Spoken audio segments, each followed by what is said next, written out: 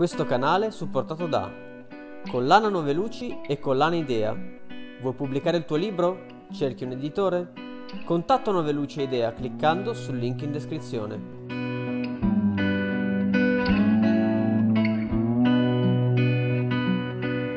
Ciao ragazzi e benvenuti a Pizza Talk. 8 domande, un ospite, 8 fette di pizza. L'ospite di oggi è Carla Pirovano, classe 1972, giornalista e scrittrice. Felice di rivederti. Eh, mando un caro saluto a tutti gli amici di Pizza Talk. Questa sera vi farò compagnia con una birra e con una pizza gamberi e rucola, il che mangerò non appena avrò finito di parlare. Allora Carla, com'è stata questa pandemia da giornalista? Allora, diciamo che eh, in linea di massima questa pandemia sul momento mi ha azzoppato, nel senso che io scrivo prevalentemente di eventi culturali per il cittadino di Lodi. Eh, l'ultimo evento a cui ho partecipato è stata la presentazione di un libro con annesso CD musicale verso la fine di febbraio e, già alle, in quel momento si, si, parlava appunto di coronavirus, si cominciava a temere che succedesse qualcosa di grave, tant'è vero che quando sono entrata in libreria ho salutato perché la conoscevo la libraia con, eh, con affetto e eh, scambiandoci consueti baci sulla guancia mi sono chiesta se fosse il caso visto il periodo che stavamo vivendo. Fortunatamente non è successo nulla. Eh, L'evento a cui ho partecipato eh, trattava in modo quasi profetico di un, di un breve romanzo eh, incentrato su una misteriosa eh, emergenza sanitaria da cui eh, l'umanità stentava a ripartire. Eh, devo dire che dopo essere tornata a casa eh, per diversi giorni non ho potuto fare altro che continuare a pensare a quel libro. Il, come dicevo appunto la, uh, questo evento, il coronavirus, mi ha azzoppato, il, nel senso che tutte le manifestazioni di cui io dovevo uh, normalmente parlare sul giornale non c'erano più. All'inizio mi sono sentita battuta poi eh, ho cominciato eh, a decidere di eh, cambiare genere, ecco, dovevo occuparmi chiaramente di qualcos'altro. Quindi mi sono concentrata sulle presentazioni librarie, poi ho eh, capito che la cultura si stava spostando in streaming. Eh, allora a quel punto sono riuscita a, a scrivere un paio di articoli su eh, eventi eh, che hanno appunto avuto luogo via internet. Eh, quindi diciamo che poi mi sono ripresa, ecco. Eh, e questa è stata la, la, mia esperienza proprio pratica legata alla pandemia. Ma esattamente cos'è una giornalista pubblicista? Eh, un giornalista pubblicista è eh, un giornalista che non ha un vincolo esclusivo con il suo giornale, mentre un professionista eh, svolge quel lavoro come, tendenzialmente come unico lavoro ed è dipendente del giornale, quindi è inquadrato nell'organico di una redazione ed è legato ad orari di lavoro, eh, un giornalista pubblicista eh, fa, è esterno all'organico e può eh, svolgere altre professioni. Il, nel mio caso eh, si tratta di una collaborazione che va avanti ormai dal 2005, ma che a livello quantitativo è occasionale, nel senso che appunto il mio compito è cercare in condizioni di normalità sul territorio degli eventi culturali da segnalare oppure fare recensioni di libri. Eh, Ecco, la, oggi diciamo che la eh, differenza fra giornalista pubblicista e professionista va un po' in alcuni casi assottigliandosi, poiché ci sono alcuni eh, pubblicisti che comunque di fatto vivono di giornalismo e hanno un rapporto eh, continuativo con un giornale. Ecco.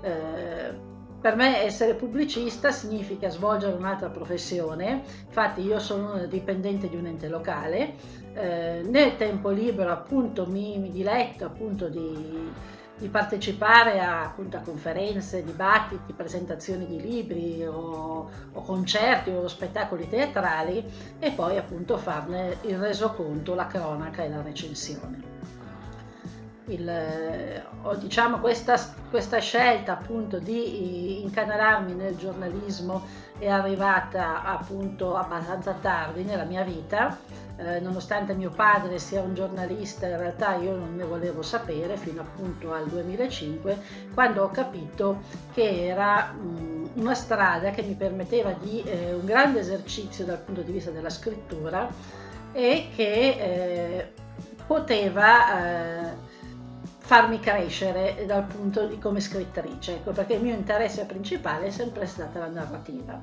Diciamo che il vantaggio del giornalismo è che vedi molto più velocemente il risultato del tuo lavoro, eh, mentre con la narrativa, soprattutto se vuoi cimentare in un romanzo, devi continuare a lavorare, un continuo eh, tagli e cuci, eh, rileggi, eh, correggi, eh, questa frase non va bene, la voglio rifar scritta così, Ecco, e quindi eh, il risultato eh, si raggiunge con molta fatica e in molto più tempo. Ah, mi capire una cosa che mi sono sempre chiesto. Eh, I giornalisti, tra virgolette, possono fare delle cose che gli altri non possono, cioè durante la pandemia hai potuto fare delle robe che per me erano impossibili, per esempio, cioè non so, per esempio uscire, cose così. Durante la pandemia i giornalisti eh, potevano uscire, eh, chiaramente come tutti eh, coloro che avevano con private esigenze lavorative. Ecco, però non mi risulta che bastasse il tesserino dell'ordine dei giornalisti per andare in giro liberamente, ma appunto credo che bisognasse dimostrare eh, di avere un servizio assegnato. Ecco, il cittadino di Lodi in particolare durante questo periodo è stato fatto in smart working, mi risulta che in, in redazione andasse solo il direttore, eh, tuttavia appunto mh, mm, non, no, io da, diciamo da, da ma luglio forse dell'anno scorso che non metto piede alla redazione del cittadino. Tutto il mio lavoro avviene dall'esterno. Io in questo periodo ho lavorato in remoto, eh, per cui eh, no, io non sono uscita per il mio lavoro di, di giornalista. Diciamo che se il giornale mi avesse assegnato un uh, lavoro di questo, un, un servizio esterno, avrei potuto tranquillamente uscire cosa che ho comunque fatto per la mia professione di dipendente di un ente locale, poiché eh, tra, essendo adibita a un servizio essenziale sono andata eh, regolarmente in ufficio. No, io comunque so che tu lavori per il cittadino di Lodi, no? Che è proprio lì, è stato l'epicentro, no? Ehm, com'è stato questo periodo in quella zona? Cioè, ti sei resa conto subito che c'era qualcosa che non andava oppure... Scrivo per il cittadino di Lodi e Lodi è stata al centro eh, della pandemia. Quindi eh, il paziente 1 era di Codogno, quindi uno della nostra zona. Eh, io personalmente non vado a Lodi da uh, prima di Natale, eh, però eh, ho avuto comunque modo di essere avvisata che stava succedendo qualcosa di molto grave eh, perché eh, proprio nel weekend in cui è esploso il, il, caso coronavirus avevo appuntamento proprio a Lodi con una mia amica che è presidente della Croce Rossa di Lodi. Eh, mi è arrivato un sms, un SMS eh, dicendo che lei ovviamente non avrebbe potuto essere presente perché era impegnata con la questione del coronavirus, di stare molto attenta e di eh, indossare la mascherina e di prepararmi perché sarebbe stata una cosa lunga. Quindi eh, ho avuto subito l'input che qualcosa di grave stava accadendo. Ciò nonostante, eh, anche se lei mi ha detto questo, io personalmente ci ho messo qualche giorno a metabolizzare la notizia. Il, quando sono andata in ufficio il lunedì, qualcuno mi ha chiesto se era il caso che io che arrivavo dalla provincia di Lodi andassi a lavorare Eh, e io mi sono inalberata perché ho detto ma io non vivo nella zona russa, infatti abito a 40 km da Codogno, quindi un po' distante. Eh, qualcuno invece ha preso molto simpaticamente la mia provenienza dalla provincia di Lodi attaccando sulla porta del mio ufficio il simbolo della radioattività. Quindi eh, poi progressivamente col passare dei giorni e con, eh, con l'arrivo dei, di, di, questi bollettini della protezione civile ho preso coscienza eh, della gravità di quanto stava accadendo. Però eh, devo dire che all'inizio eh, ero abbastanza disorientata. Parlami un po' dei tuoi libri, insomma. Il, io ho scritto un libro solo, innanzitutto, eh, interamente io. Eh, la raccolta di racconti in volo che è stata pubblicata nel 2014 dalla casa editrice Gemini Grafica. Il, si tratta appunto di un'antologia di nove racconti eh, in cui eh, narro eh, storie prevalentemente di donne alle prese con, eh, con problemi quotidiani come la solitudine, eh, un amore che non funziona, il, il, magari il lavoro che non è sempre all'altezza delle aspettative. Eh, questo, questa raccolta di racconti è una sorta di percorso, eh, tenete presente che l'ho scritta nel corso di un decennio e eh, si intitola In volo proprio perché a partire dal primo racconto fino per arrivare all'ultimo c'è una sorta di apertura. Eh, il primo racconto è un, un noir si può dire, ecco, mentre l'ultimo è una storia d'amore.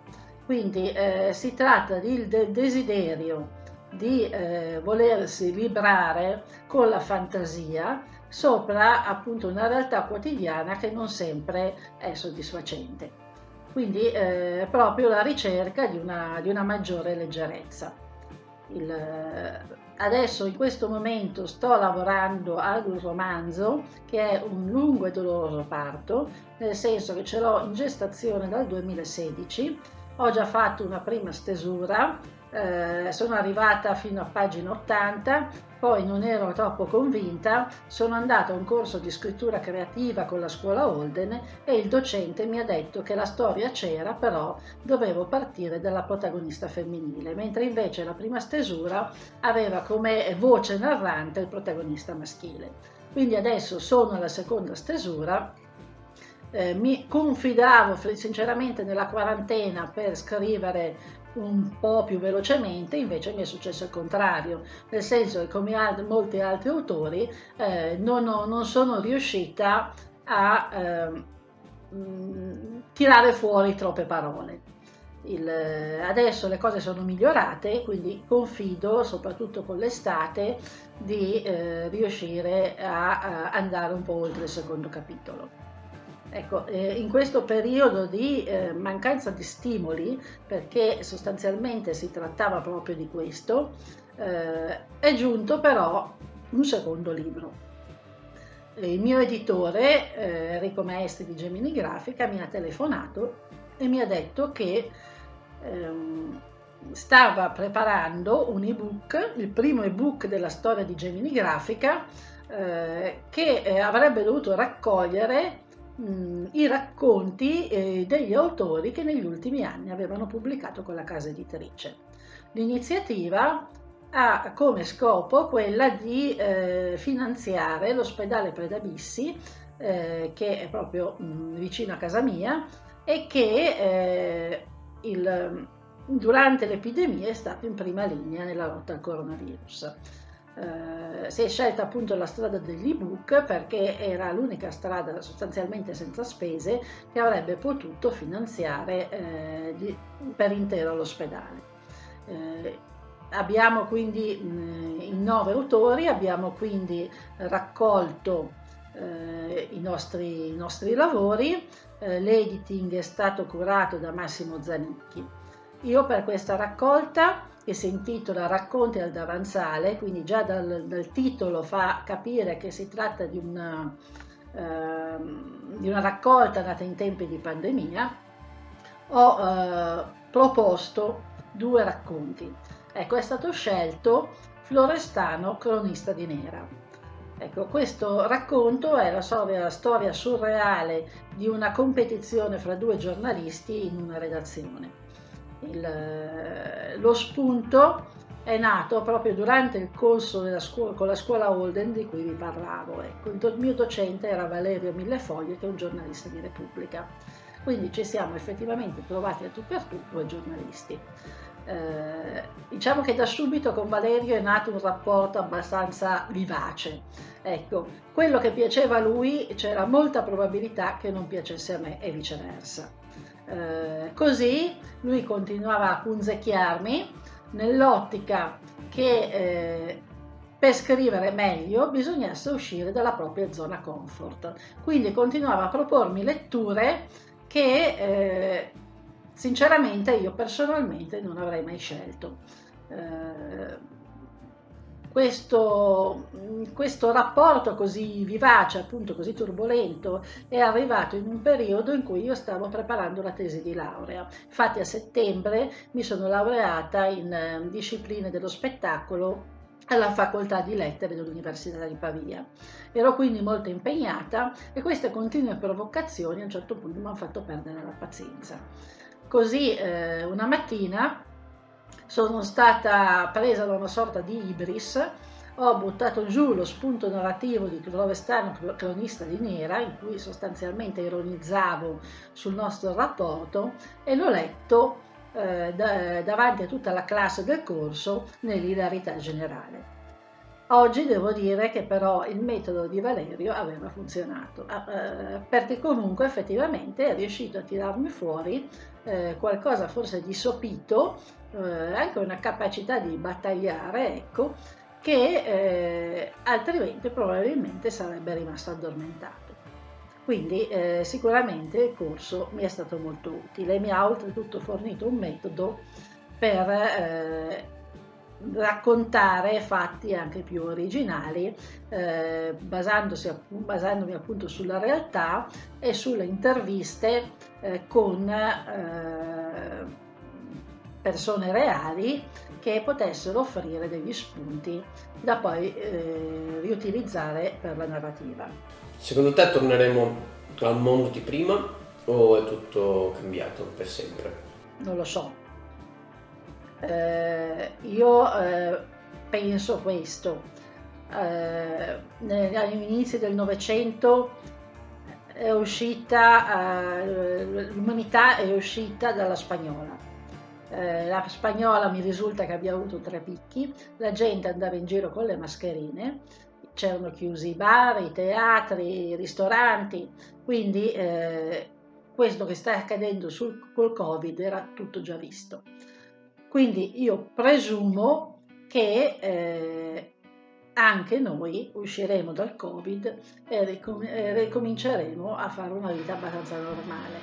Eh, dopo la spagnola ci sono stati i ruggenti anni 20, quindi io mi auguro di assistere ad un periodo di rilancio eh, culturale e sociale e, so- e, soprattutto economico, perché effettivamente eh, in questo periodo stiamo soffrendo parecchio.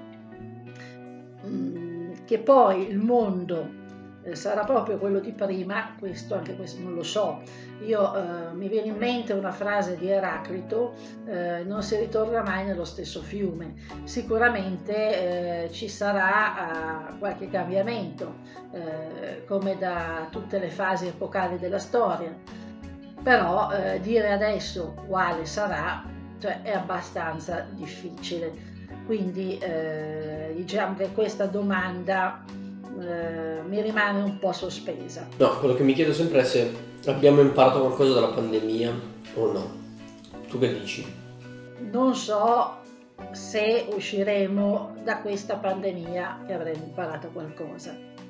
Io credo eh, che sia una cosa estremamente soggettiva, eh, perché il, eh, alla fin fine c'è chi eh, è capace di eh, crescere dalle proprie esperienze, chi eh, rimane ingessato eh, propria, nel proprio piccolo mondo. Eh, quindi francamente mi sembra troppo, molto prematuro dire se impareremo qualcosa dalla pandemia. Diciamo che io me lo auguro, ecco. Eh, per quanto mi riguarda, eh, io quello che ho potuto notare è che eh, questo tempo di sospensione eh, mi eh, ha permesso di capire che eh, se avessi dovuto rifare le scelte che avevo fatto, probabilmente le avrei rifatte uguali. Ecco. Per cui tutto sommato, eh, dal, pun- dal, mio punto di vista, cerco di affacciarmi il più possibile con fiducia eh, al futuro. Adesso domanda piacere di pure tutto quello che che ci sta seguendo, ok? Diciamo che eh, vedo che adesso il video sta andando per le lunghe, per cui eh, cercherò di essere sintetica. Eh, quello che mi preme di dire è di cercare di dire alle persone di cercare di non cedere alla depressione che in questo periodo rischia di affacciarsi in modo pesante. Eh, bisogna farsi forza, eh, cercare di non cedere a quel malessere interiore che ti porta a non aver voglia di far nulla o a vedere tutto nero, a pensare a tutto il male del pianeta e cercare di mm, fare affidamento sulla resilienza, quindi sulla capacità di affrontare i nostri traumi.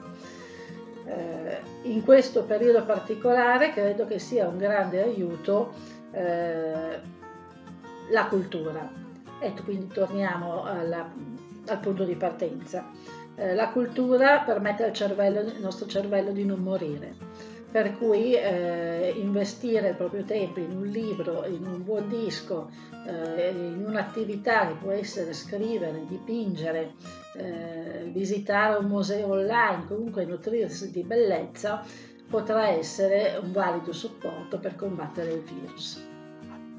Ora un saluto eh, ecco, l'ultima cosa, eh, Racconti al Davanzale è in, in, vendita sul sito internet della casa editrice Gemini Grafica. Comunque è stato un piacere, una bella pizza, una bella chiacchierata e spero di riaverti qui come ospite per una pizza reale. Quella che sentite intanto è la mia gatta che si sta dando la pazza gioia. Comunque per voi che ci state guardando, mi raccomando, non dimenticate di iscrivervi, mettere un bel mi piace e di schiacciare la campanella per essere avvisati nei prossimi video, almeno siete sempre sintonizzati. Noi ci vediamo al prossimo ospite e alla prossima pizza. Io non vedo l'ora. Ciao ragazzi. Cercate un canale pieno di video sul mondo dell'editoria, su riassunti di opere note e non note e che parli insomma di letteratura? Cercate la vostra dose settimanale di libri e storie? Siete nel posto giusto. Iscrivetevi a Book Topics, ogni settimana un nuovo video sul mondo dell'editoria.